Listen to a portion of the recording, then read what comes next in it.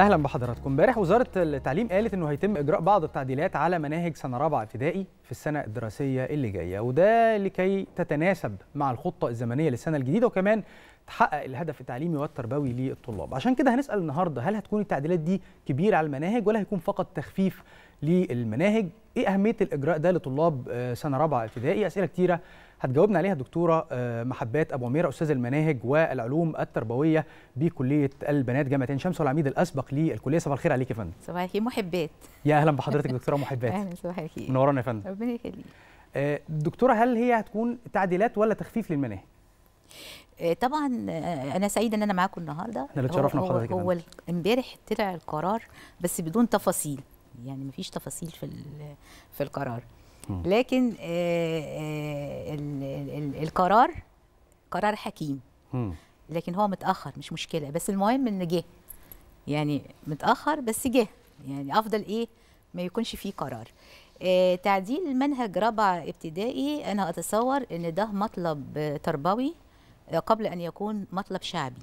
بمعنى إن يعني أنا اطلعت على المناهج بالذات منهج الرياضيات بحكم تخصصي 40 سنة في هذا التخصص وخبرتي التربوية فلقيت إن فعلا الكم الموضوعات بعض الأمثلة بعض التمرينات فوق المستوى العمري للطالب أو الطفل الصغير في بتاع رابعة ابتدائي.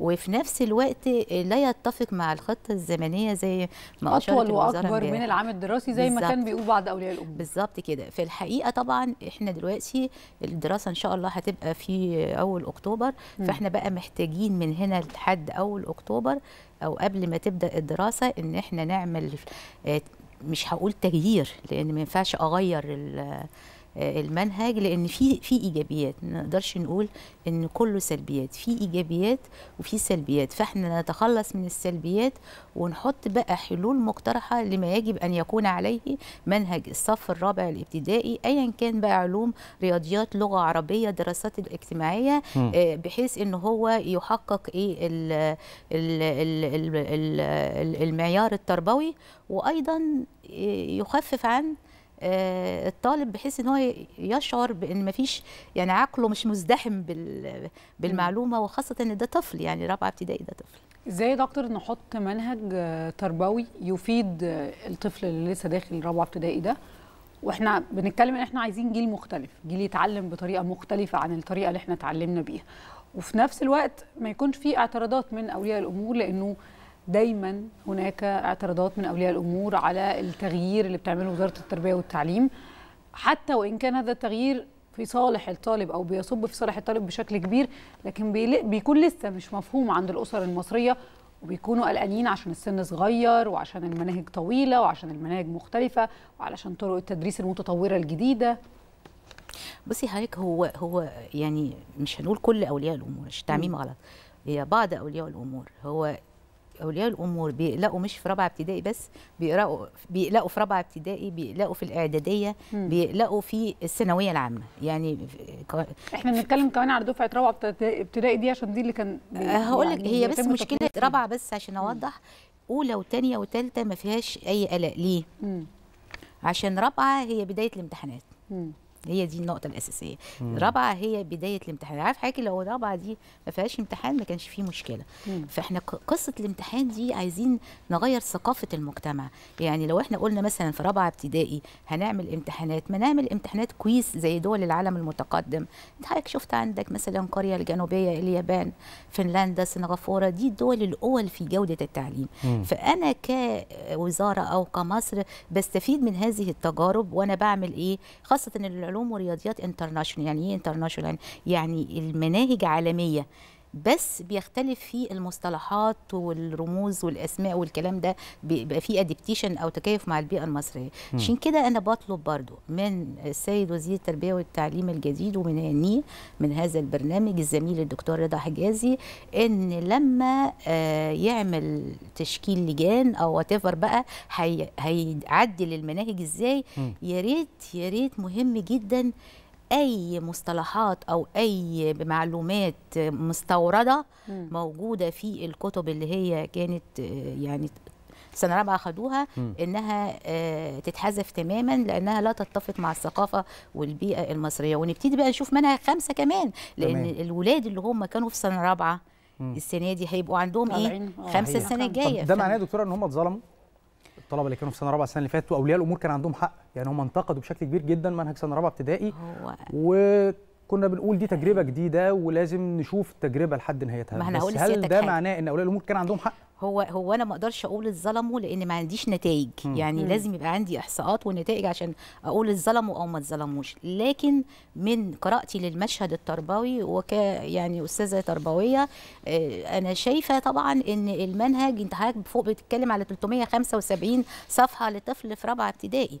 فدي دي ده في لود عليه. مم. يعني في في في آه، صعب مذاكرة صعب عليه. وأنا طلبت إن نشيل جزء كبير نحطه في دليل المعلم. لكن يعني تخفيف المناهج هو هو الحل دلوقتي. الحل بس مع المحافظة على الأساسيات لأن في حاجات كويسة ما أقدرش أنكر إن في موضوعات كويسة بتناسب البيئة المصرية لكن خليني أقول لك ثقافة المجتمع والمقاومة إن طبعا في حاجة اسمها جروبات المامي هات.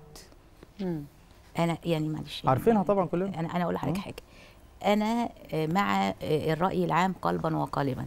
بس يعني إحنا مش معقولة ابدا. كل ما هنيجي زي ما حضرتك قلتي التطوير والتغيير والمقاومه من المجتمع مش معقولة كل ما هنعمل حاجة جديدة علشان ننمي الإبداع والتفكير عند الطفل هنلاقي بعض الجروبات ومش عارفة مين مسؤوله عن ادمن إيه ولا إيه. والكلام ده كله غير رسمي على فكرة. دي حاجات آه، بتتعمل مفهوم طبعاً. غير. رسمية.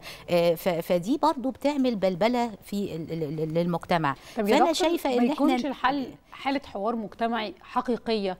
يعني أنا أقدر أوصل حتى لو عن طريق السوشيال ميديا كوزارة تربيه وتعليم يكون ليا آه، وجود داخل داخل المنصات دي أتكلم مع الناس أسمع مشاكل الناس وترجمها بشكل بقى يعني عملي بصي على المناهج. ده إجابة على سؤال سيادتك مهم جدا. إحنا بقى نعم- بنعملها بطريقة رسمية. بدل ما تبقى كل انت عارف سيادتك عارفة دلوقتي كل من هب ودب بيطلع يط- يطلع فيديو من بيته مم. من النادي من العربية والدنيا فوضى. أنا كاتبة مقالة اسمها فوضى فيسبوكية. ده بيأثر على الأمن القومي المصري على فكرة.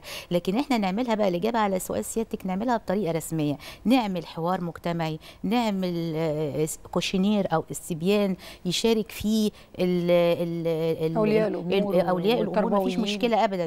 من خلال مدارسهم من خلال المدرسة. مش يبقوا لوحدهم لا يبقى يعني حوار رسمي من قبل الدولة.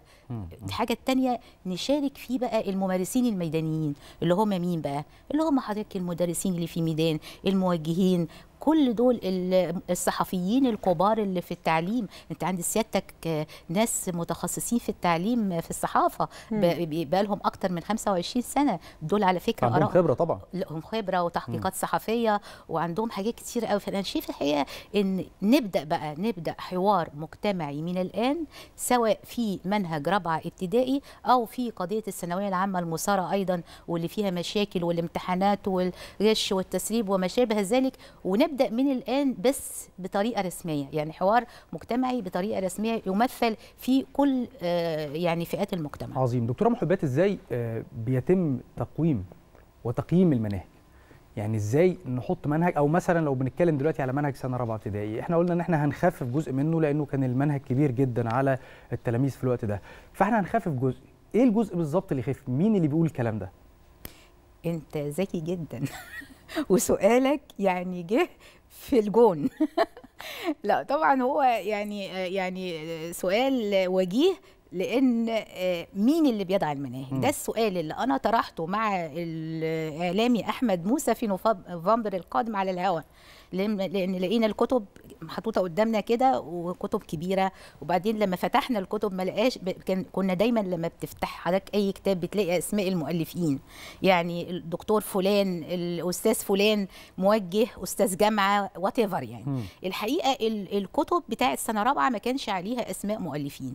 فلا ولذلك أنا طرحت السؤال ده على الهواء فالإجابة على سؤال سيادتك هو مش عندي أنا هو عند وزارة لأن أنا لا أمثل وزارة التربية والتعليم أنا أستاذة جامعية تربوية.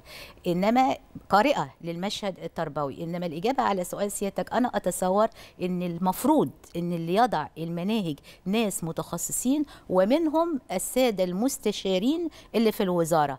إمبارح يعني تصريح صادم. برضو آه، في من أحد الصحفيين اللي مسؤولين عن التعليم آه، في في جريدة قومية إن المستشارين لم يشاركوا في في المستشار يعني إيه؟ يعني مستشار الرياضيات مستشار اللغة العربية مستشار لم يشاركوا في إعداد هذه المناهج أو في مراجعة هذه المناهج. وإذا كان هذا الخبر صحيح فأنا أتصور إن ده خطر جدا.